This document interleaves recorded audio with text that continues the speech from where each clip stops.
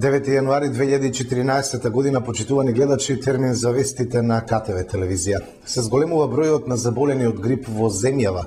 Во Кавадарци за последната недела евидентирани се 16 нови заболени од грип. 16 нови заболени од грип се евидентирани последната недела во Центарот за јавно здравје Кавадарци. Со тоа вкупниот број на грипозни од почетокот на сезоната до сега се искачи на 52 лица. Споредено со минатата сезона на грип, годинава имаме речиси двојно повеќе случаи на заболени во овој период. Не е ништо алармантно. Вкупниот број на заболени се уште е низок, рече доктор Ристе Јовановски, епидемиолог од Центарот за јавно здравје Кавадарци. Вкупниот број на заболени од грип во Републиката од почетокот на сезоната 2013-2014, 40-та недела од 2013, заклучно со првата недела од 2014, изнесува 1343, од кои што 6 мина се заразени од вирусот на свински грип. Во овој период нема регистрирани смртни случаи асоцирани со инфекции со вирусот на грип. Во споредба со истиот период минатата година, кога се регистрирани 740 заболени, постои зголемување на вкупниот број на заболени лица за 81,5%, а во однос на просекот за 10 годишниот период се регистрира намалување на бројот на заболени во оваа сезона за 5,6%. Дистрибуцијата на заболените од грип по месеци укажува на тоа дека во месец декември пријавени се најголем број на случаи со симптоми на грип. Најголем број на заболени се од Пехче Сарајево, а најмногу заболени има на возраст од 15 до 64 години. Во тешка сообраќајна несреќа на патот градско Прилеп кај Росуман синоќе загина едно лице, а две беа повредени. Еден загина, еден е тешко повреден кај Росоман во сообраќајната несреќа која синоќа околу 20:50 часот се случи на регионалниот пат градско Прилеп. Ова е информацијата која утрово ја соопшти портпаролот на секторот за внатрешни работи Велеса Нита Стојковска. На 8 јануари 2014 година во 20 часот и 50 минути на регионалниот пат градско Велес во близина на селото Росоман дојдено е до сообраќајна несреќа во која учествувале патнички автомобил марка Peugeot со велешки регистарски ознаки, управуван од лицето со иницијали ЈН на возраст од 42 години од Белес, и товарно моторно возило марка Сканија со полуприколка со прилепски регистарски ознаки, управуван од лицето со иницијали КЦ на возраст од 56 години од Белес. Во незгодата од здобиените повреди на лице место починал со возачот во патничкиот автомобил, лицето Димче П на возраст од 38 години од Велес. Возачот на патничкиот автомобил се здобил со тешки телесни повреди и пренесен е во клинички центар Скопје, додека возачот на товарното моторно возило се здобил со телесни повреди и истиот по укажаната лекарска помош во Обшта болница Кавадарци е пуштен на домашно лекување. Увид на лице место изврши јавен обвинител и увидна екипа од СВР Велес и по наредба на јавниот обвинител телото на починатиот е предадено на фамилијата. Инаку за време на увидот сообраќајот на наведената делница беше затворен во времето од 21 часот до 30 минути после полноќ. Увид на лице место извршија јавниот обвинител Томе Панджов од Кавадарци и полициска увидна екипа од Кавадарци. По налог на јавниот обвинител, телото на починатиот беше предадено на фамилијата. На лице место беше и екипа на противпожарната единица од Кавадарци. Додека траеше увидот на лице место, синојке сообраќајот на тој дел беше во прекин околу 3 часа. Сканијата беше надвор од патот, а мермерот кој го носела беше исфрлен и направил оштетување на патот. Најверојатно се движела на кај градско, а младите велешани на кај Росоман.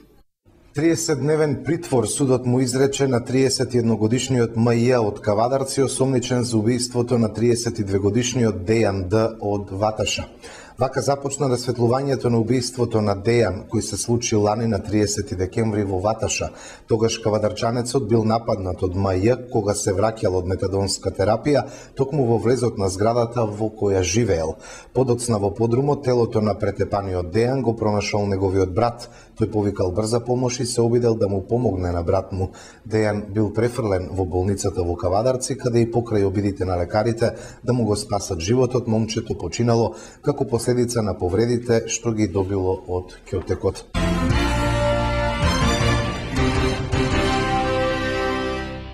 На крајот на мај завршува рокот до кога земјоделците треба да ги регистрираат тракторите. До октомври во земјава биле поднесени 20.000 барања за докажување на собственоста. До 1 јули годинава фармерите треба да ги регистрираат тракторите. До сега биле поднесени над 20.000 барања за докажување на собственоста, а регистрирани се 8.000 трактори. Проценките покажуваат дека повеќе од една третина од тракторите во земјава нелегално се вклучени во сообраќај без соодветна документација. Со регистрацијата земјоделците добиваат право на собственост и документи, ќе можат да ги движат тракторите по сообраќајници, а некако досега да ги оставаат на нивите. Воедно ќе се води сметка за нивната исправност, што ќе ги намали незгодите кои годишно достигнуваат до 100, при што освен трактористи страдаат и деца, велат експертите. Регистрацијата ќе овозможи механизацијата да се продава или заложува. Со новата вредност земјоделците ќе можат да се здружуваат во задруги и да формираат основен задружен капитал. Значајно е што ќе ја засилат својата конкурентност за добивање повеќе бодови за конкурирање пред програмата за рурален развој, каде се бодира и поседување земјоделска механизација. Според проценките на терен, Македонија располага со 53.606 трактори, од кои околу 30.000 се нерегистрирани, вклучувајќи ја и приклучната механизација приколки. Причина за големиот број нерегистрирани машини е нивното користење од времето на поранешна Југославија, добивањето трактори во наследство, купување без купопродажни договори. На бесплатно зимување на Пелистер денеска замина втората група со деца од Кавадарци. Ги испратија вработените од Центарот за социјални работи и нивните родители. Од кавадарци на зимување на Пелистер денеска замина и втората група со деца кои ја користат можноста за бесплатно зимување. Првата се врати по пладнето со убави импресија. Дечињата кои замина утринава само посакаа убава и весела дружба. Со нив на зимување замина и двајца волонтери на Црвениот крст, а ги испратија вработените во Центарот за социјални работи и родителите. Дека целата активност е организирана според правилата на Министерството Министерството за труд и социјала и дека има интерес од граѓаните, за КТВ потврдува директорката на Центарот за социјални работи Кавадерци Вања Маневска, која ја испрати втората група на зимување и посака убав помин. Како проект на нашата влада од прошлата година отпочна бесплатното зимување и летување на дечињата од социјално загрозените семејства, корисниците на постојана парична помош, детскиот додаток и посебниот додаток. Значи, денес Кавадарци и Лани прошлата година имаше до околу 10 дечиња од вкупно 1000 деца корисници на бесплатно зимување. Значи, ние учествувавме со 76 прошлата година, 2013 оваа година. Значи, имаме веќе во првата група испративме 48, денес ке испративме 46. Зимувањето ќе биде организирано во три групи или во три смени, значи по пет а, полни пансиони, шест ден, шест ден се враќаат дечињата, како што видовте денеска успешно се ја испративме и втората група на дечиња од нашите корисници. Овој проект се реализира во непосредна соработка со Обштествениот организација Црвениот крст на Република Македонија, секогаш, значи, во секоја смена имаме задоволителен број на волонтери. Значи, застапници, представници од Црвениот крест, исто така таму имаме медицинско лице, лекар со медицинска сестра, кои што се должни да се за целокупниот нивни престој, за сите 5 дена 6, да се грижат за нивната редовна за редовните оброци, нивното здравје, нивните рекреативни организирања, за нивните слободни активности за време на нивниот престој заинтересираните граѓани кои што имаат право нели да аплицираат за нивните деца бесплатно да зимуваат, аплицираат до Центарот за социјални работи во Кавадарци, одобрува Министерството, ќе ми одговорите има ли интерес од Кавадарци? Па, е, како што гледаме, значи од 1000 корисници на ниво на државата, Кавадарци има 100 дечиња, значи апликациите, родителите, можам да кажам дека доволно, довол, задоволително сме ги запознале, значи со таквата вест, со таквата информација од страна на Центар социјални работи Кавадарци врз основа на добрата информација која што стигнала до нашите граѓани, значи истите се запознале со своето право, доаѓаат постојано во кај нас во Центар социјални работи, кај мене се јавуваат телефонски и на, задоволително, уредно, благовремено ги, ги подполнуваат. Значи, они врз основа на пријава, значи се пријавуваат секој кој што е заинтересиран, имат право на пријава или барање, кое што барање е формулар изработен од Центар социјални работи и врз основа на таквата нивна апликација ние се ги доставуваме, значи задоволителен бројот од кавадарци, има доста заинтересираност, а и таквиот интерес и се задоволува и се реализира. Услугата на бесплатен одмор и рекреација за деца, освен што офаќа пет полни пансиони со ноќевање и три оброка дневно, вклучува и едукативни, забавни и спортски активности. До крајот на зимскиот распост од кавадарци на зимување на Пелистер бесплатно ќе замине уште една група дечиња и децата од социјално загрозените фамилии од Неготино, кои што оваа сезона зимуваа на Пелистер, после неколку дена денеска се враќаат дома. Зимувањето за нив е бесплатно и им го возможи проектот на Министерството за труд и социјална политика. Околу 40 деца од семејства со социјален ризик денеска ќе се вратат од бесплатното зимување на Пелистер, на кое заминаа на четврти овој месец. Овој зимски одмор им го овозможува Министерството за труд и социјална политика во соработка со центрите за социјална работа и Црвениот крст. Директорката на Центарот за социјална работа од Неготино, Роза Јаневска, нагласува дека зимувањето за оваа категорија деца се реализира втора година поред.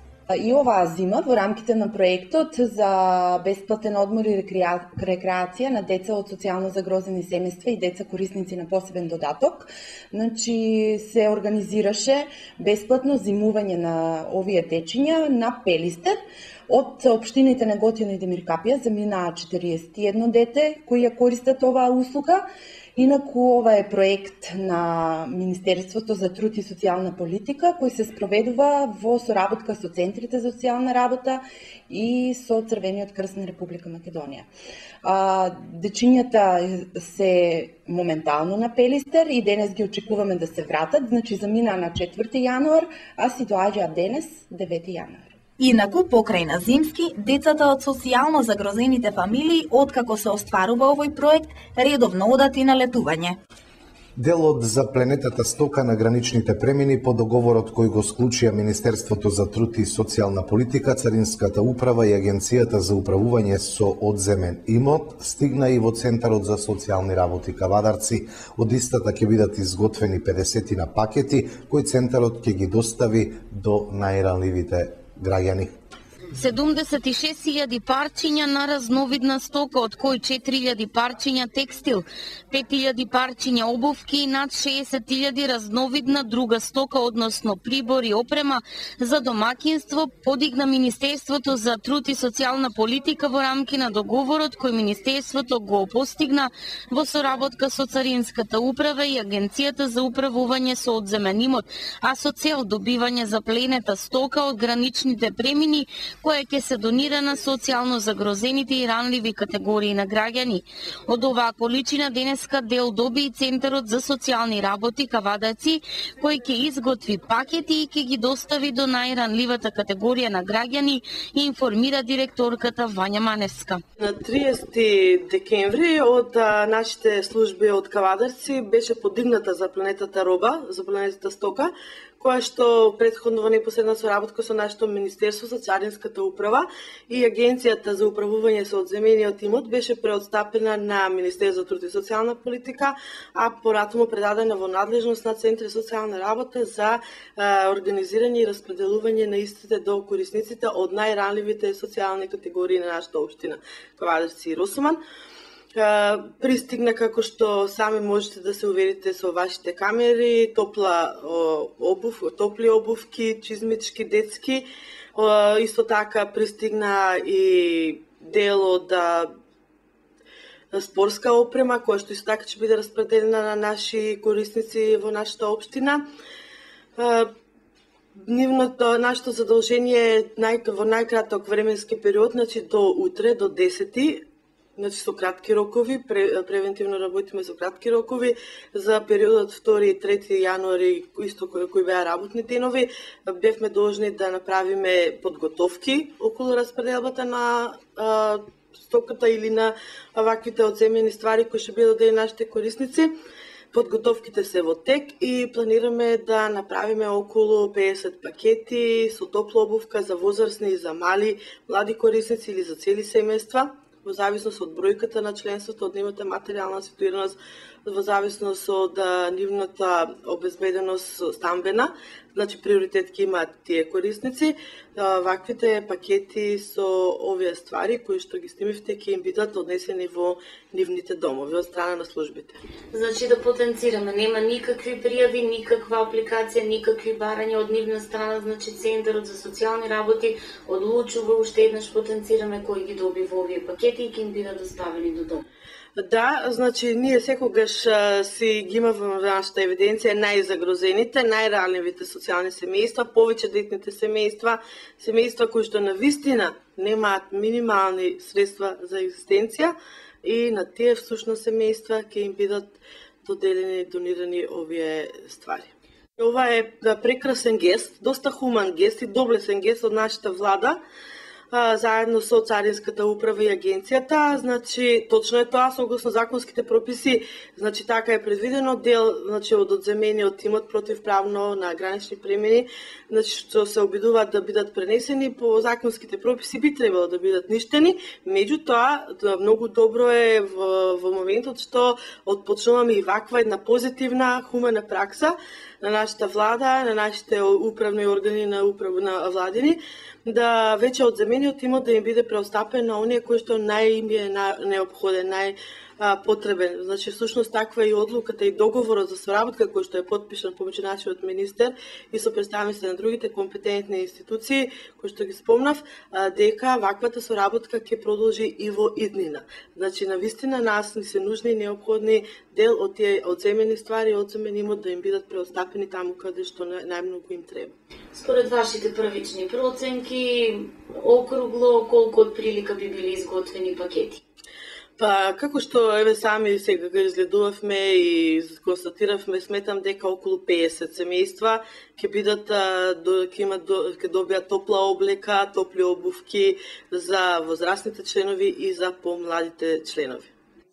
Од Министерството најавуваат дека оваа акција во која учествуваат трите институции продолжува засилено и во наредниот период, при што планирано е доделување на дополнителна роба. Вчера пицеријата Блу Кафе Неготино им организира заеднички ручек на 40 корисници на услуги на Дневниот центар за лица со пречки во развојот порака Неготино. Распеани и насмеани 40 наштитеници на Дневниот центар за помош на лица со пречки во развојот порака Неготино вчера се дружеа на заеднички ручек во пицеријата Блу Кафе во Неготино. При тоа, ова е традиционален ручек кој веќе петта година поред го организираат собствениците на Блу Кафе, кои што пак изразија надеж дека оваа традиција секоја следна година ќе зазема се поширок обсек. Со заеднички ручек фирмата на 40-тината корисници на услугите на порака Неготино им даде и новогодишни подароци.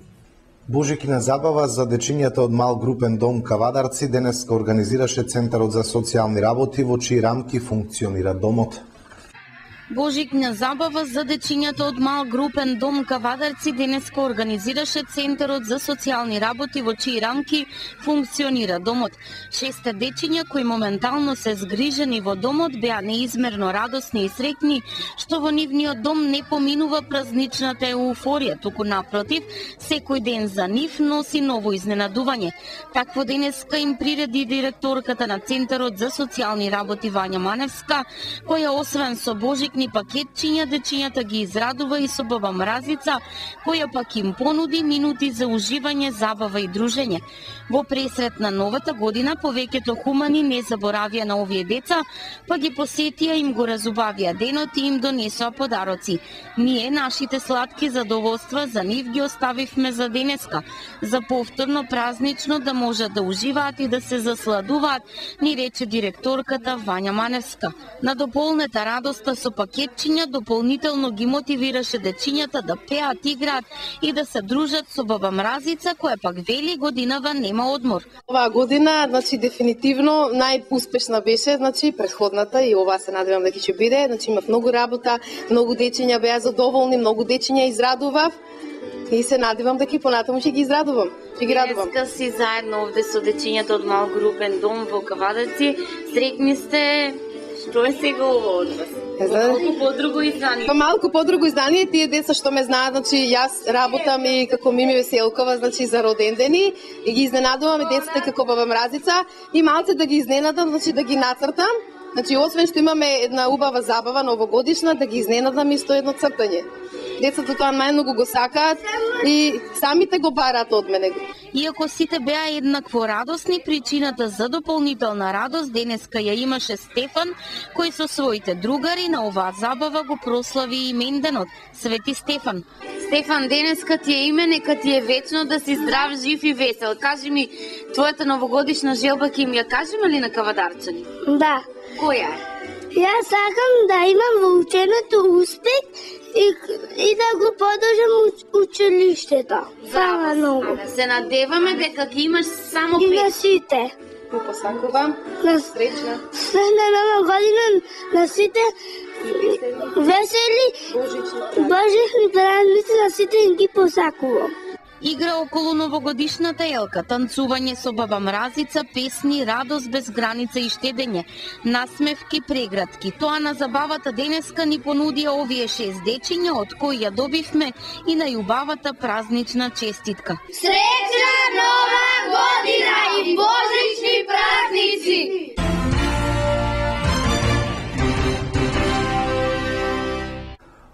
Обштина Неготино деновиве изготвува проектна документација за проект за подобро водоснабдување. Со овој проект Обштината до крајот на месецов ќе аплицира до Светска банка за овозможување финансии кои ќе овозможат и негова имплементација. Веќе следната година Неготино ќе има подобро водоснабдување. Ќе се реши проблемот со водоводот на 16 улици во градот и ќе се изгради нов резервоар за вода со капацитет од 5000 метри кубни. Ова го најави Петар Самандов, соработник во одделението за комунална дејност на општина Неготино. Целта на ова проектна документација е изработка на проект за резервоар, кој ќе биде со капацитет од 5000 литри вода, односно 500 метри кубни, кој што ќе биде за, за обезбедување на висока зона во градското подрачје, со тоа што кога ќе биде пуштен во употреба новиот резервоар, овој што е веќе што е постоечки и да го наречеме стар резервоар, ќе биде во функција сало- само за селот Именик. Изработка на ова проектна документација во полнување на веќе на веќе почнатата проектна документација за 16 за замена на, на водоводни линии на 16 улици во град Готино и ќе биде се со цел да се обезбеди подобро водоснабдување во град Неготино. Постоечкиот рез- резервоар кој што е со 1500 литри вода ќе биде наменет за село Тименик а придобивките од новиот се тоа што граѓаните на општина Неготино ќе имат постојана вода во делот на високи зони Општината пак од свој буџет деновиве ја подготвува проектната документација со која што ќе се аплицира во Светската банка за пари со кои ќе се овозможи реализација на проектот. Истиот, како што најавија од општината, треба да се реализира до крајот на 2014 година. Со тоа ќе се реши проблемот со губењето на водата и со рестрикциите во Неготино. Еколошкото друштво Еко живот од Кавадарци најави нови еколошки акции во училиштето во Росоман кои ќе започнат со стартот на второто полугодие. Од еколошкото друштво Еко животот Кавадарци денес најавија дека побројните еколошки акции во текот на минатата година. Во новата година стартуваат со нови еколошки мисии во основното општинско училиште Перетоше во Росоман. Ние интензивно работиме на подготовка на нашата следна еколошка задача која е закажана на стартот на второто училишно полугодие. Мораме да ги пофалиме учениците од ова училиште, нивните наставници и екоодборот при училиштето за нивното огромно залагање за подигнување на еколошката свест и обрнување на повеќе внимание на здравата и чиста животна средина, рече председателот на друштвото Роберто Паризов. Тој исто така упати јавен повик до сите училишта кои сакаат еколошки да делуваат, да се обратат до екоживот за меѓусебна соработка.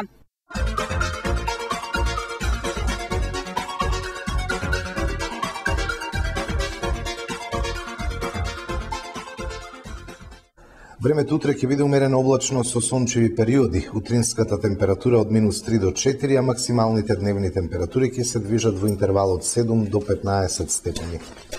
Со информацијата за времето ги завршуваме вестите. Имајте пријатни мигови со нашата програма.